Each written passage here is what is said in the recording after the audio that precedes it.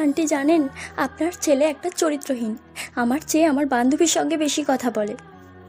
রূপকথা নাক টানতে টানতে কথাগুলো বলে বসা থেকে দাঁড়িয়ে যায়। হেমলতা চোখের চশমাটা ঠিক করতে করতে রূপকথার দিকে তাকায় আর জিজ্ঞাসা করে উঠলে কেন? বসো। না থাক আন্টি সমস্যা নেই। কিন্তু কে তুমি? তোমাকে তো ঠিক চিনতে পারলাম না। রূপকথা আবারও নাক টেনে মাথা নিচু করে উত্তর দেয়। আমি আপনার ছেলের গার্লফ্রেন্ড ছয় বছরের সম্পর্ক আমাদের। কোন ছোটবেলায় আপনার ছেলেকে ভালোবেসে সব উজাড় করে দিয়েছিলাম কিন্তু এখন সে আমাকে ঠকাচ্ছে। হেমলতা রূপকথাকে পা থেকে মাথা পর্যন্ত দেখে নেয় আর বলে কিন্তু সাম্যর কাছে তো কখনোই তোমার ব্যাপারে কিছু শুনিনি। আসলে আন্টি আপনি আপনার ছেলেকে চেনেন না। ও আপনাকে এতই ভয় পায় যে ভয় কিছু বলতেই চায় না। আমি কতবার বলতে বলেছি কিন্তু ও বলার সাহসই পায় না।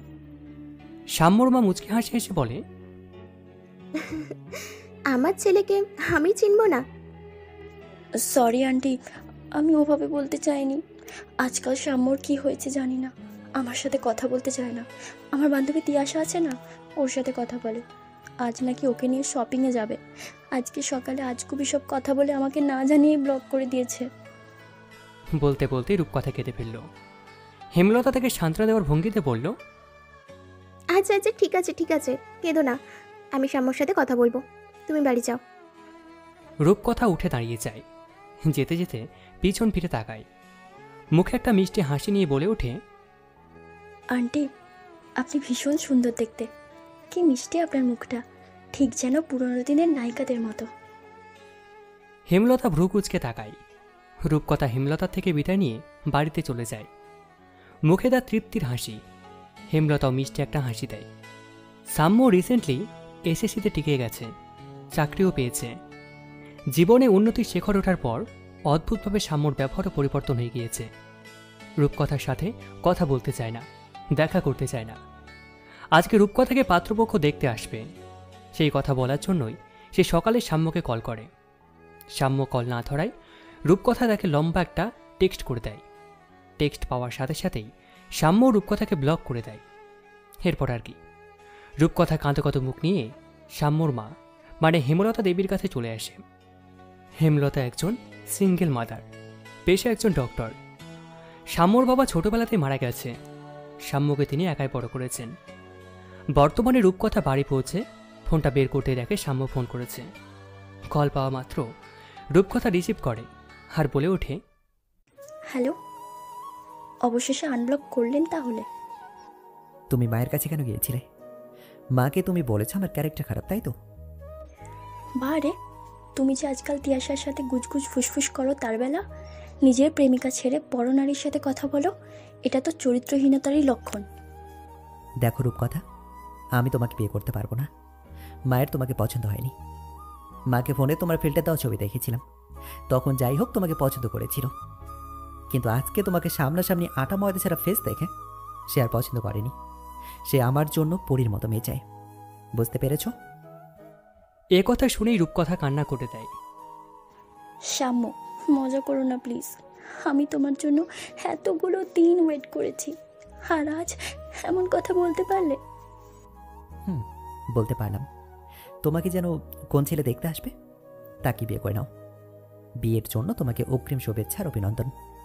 অল দ্য বেস্ট ভালো থেকো হ্যাঁ? রাখছি। সাম্য এতটুকু বলে কলটা কেটে দেয়। রূপকথাকে কিছু বলার সুযোগ দেয় না। রূপকথা হাউমাউ করে কেঁদে দেয়। সকাল গড়িয়ে দুপুর। দুপুর গড়িয়ে বিকেল রূপকথা ঘরের দরজা বন্ধ করে রেখেছে। অনেক ডাকাটাকি করেও দরজা খুলছে না।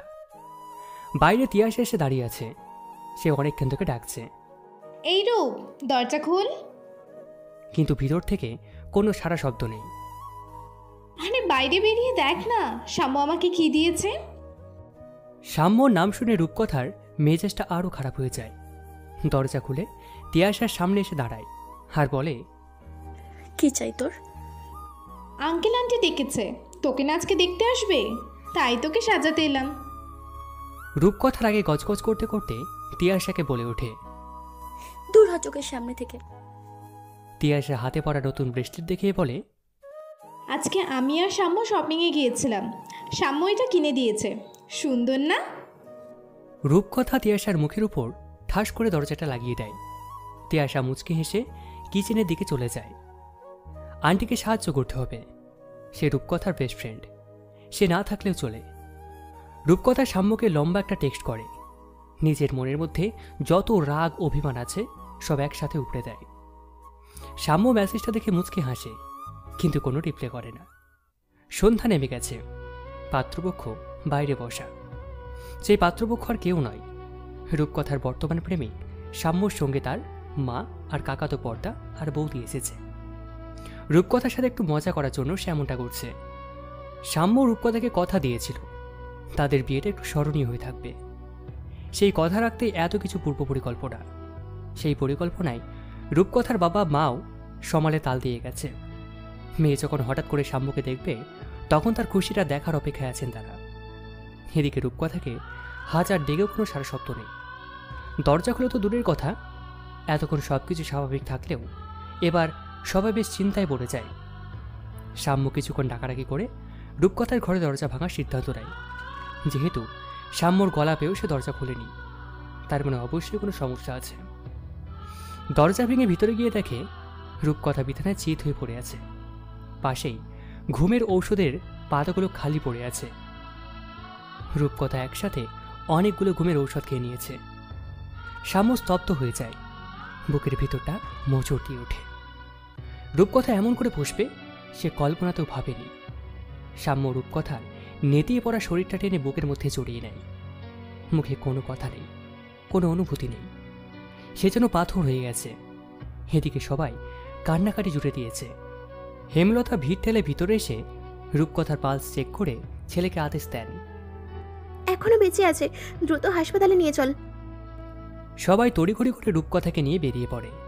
রূপকথার স্টোমাক ওয়াশ করা হয়েছে কিন্তু তবুও গোটা রাত কেটে গেছে রূপকথার কোনো সেন্স নেই। ঘুমিয়ে আছে সে। সাম্যসহ পরিবারের লোকজন সারা রাত জাগা। নির্ঘুম সাম্য সারা রাত হাসপাতালের কেবিনে বাইরে পায়চারি করছে। যদি সে ঘুমিয়ে যায় আর রূপকথার শেষ না ফিরে আসে তখন ভোরের দিকে রূপকথার জ্ঞান ফেরে। চোখ পিটপিট করে তাকায়। বাবা তার পাশেই মাথার কাছে হেলান দিয়ে বসা। চোখ বুঝে আছেন দিদি। হালকা ত্রন্দা লেগেছিল। রূপকথা একটু নড়ে উঠতেই ভদ্রলোক জেগে যান আর বলেন কেমন আছিস মা? ভালো। এতগুলো বছর কত যত্ন করে তোকে বড় করলাম। সেই বাবা মায়ের ভালোবাসার কোনো দাম নেই না। একবারও ভাববি না আমাদের কথা। ও একটা ছেলের জন্য এমন কাজ করে বসবি বাবাকে বলতে পারলি না। এমন দশটা সাম্মু কিনে দিতাম তোর কাছে। রূপকথা বাবাকে জড়িয়ে ধরে এবং হাউমাও করে কেঁদে ওঠে। রূপকথা মুখ কাঁচুমাচু করে উত্তর দেয়। দশটা না বাবা আমার শুধুমাত্র আমার ওই একটা সাম্য হলেই হবে। আমি সাম্যকে যে বড্ড ভালোবাসি ওকে ছাড়া অন্য কাউকে বিয়ের কথা কল্পনাও করতে পারি না। ও তো বলেছে আমায় বিয়ে করবে না। আমি কার জন্য বাঁচবো বলো? রূপকথার বাবা রূপকথার মাথায় হাত ভোলাতে ভোলাতে বলতে থাকে তোর সাম্মুকে তো বর্ষে তোর সামনে আনতে চেয়েছিলাম সেই সুযোগ তার দিলি কোথায়? রূপকথা অবাক চোখে তাকায়। সাম্য আগেই তিয়াখার হাতে করে তোর জন্য লাল টুকটুকে বিয়ের বেনারসি কিনে পাঠিয়েছে। সন্ধ্যাবেলা উড়ে আসার কথা ছিল। ভেবেছিলাম সবাই মিলে তোকে সারপ্রাইজ দেবো। তার তুই হতে দিলি কোথায়? তুই নিজেই আমাদেরকে সারপ্রাইজ দিয়ে দিলি। রূপকথা অবাক চোখে বাবাকে দেখতে থাকে।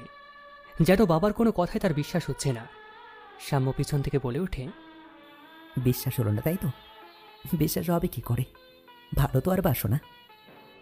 দরজার কাছে দাঁড়িয়ে সাম্য তখন রূপকথা আর তার বাবার কথোপকথন শুনছিল। রূপকথা সেটা খেয়াল করেনি। সাম্য ঘরে প্রবেশ করে। সাম্যকে দেখে রূপকথার বাবা রুম থেকে বেরিয়ে যায়। রূপকথার সাম্যর দিকে তাকায়। চোখ দুটো লাল হয়ে আছে। মুখটা শুকিয়ে আমসি হয়ে গেছে। এরকম কেউ করে। একটু হলে তো আমার প্রাণটা বেরিয়ে যেত। মারতে চাও না আমাকে? এমনি এমনি মেরে দিতে। আমি তো তোমার হাতে মরতেও রাজি ছিলাম। আমার ক্ষতি করতে যাচ্ছিলে কোন সাহসে তুমি? তোমার ক্ষতি কোথায় করলাম? যা করার আমি তো নিজের সাথে করেছি।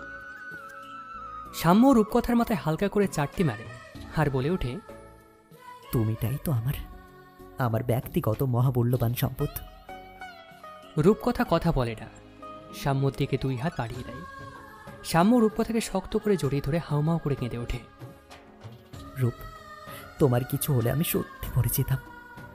আমি বুঝতে পারিনি তুমি এরকম কিছু করে বসবে। আমি যে তোমাকে ভীষণ রকম ভালোবাসি রূপ তোমাকে ছাড়া আমি মরে যাব। রূপকথা আস্তে আস্তে সাম্যর কপালে চুমু দিয়ে বলে তুমি আমাকে সারপ্রাইজ দিয়েছ আর আমি তোমাকে দিয়েছি কষ্ট।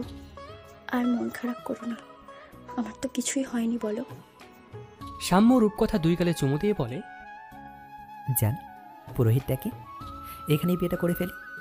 আর বাকি রইল ফুলসজ্জা সেটাও নয় এখানেই করব। তুমি তো তাই চাও তাই না? সেই জন্যই তো এমন একটা কাণ্ড ঘটালে।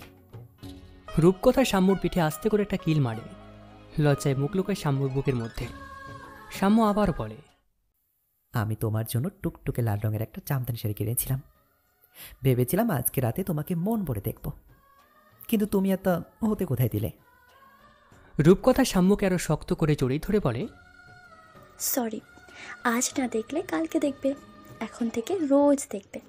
আমি রোজ একটা করে শাড়ি পরবো। রোজ দেখব। শাড়িতেও দেখব আবার শাড়ি ছাড়াও দেখব। যা অসভ্য।